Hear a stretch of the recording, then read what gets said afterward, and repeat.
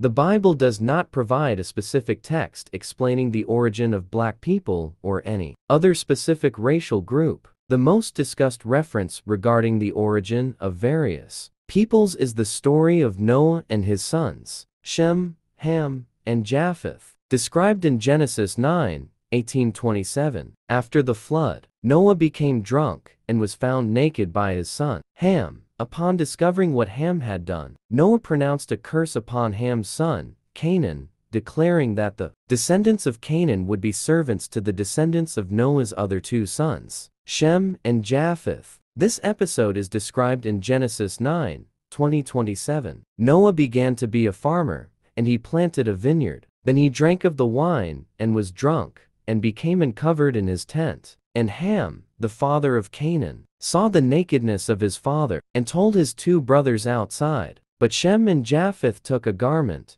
laid it on both their shoulders, and went backward and covered the nakedness of their father. Their faces were turned away, and they did not see their father's nakedness. So Noah woke from his wine, and knew what his younger son had done to him. Then he said, Cursed be Canaan, a servant of servants he shall be to his brethren. And he said, Blessed be the Lord, the God of Shem, and Canaan shall be his servant. God enlarge Japheth, and let him dwell in the tents of Shem, and Canaan shall be his servant. Historically, some erroneous and racist interpretations have used this passage to justify slavery and discrimination against Africans.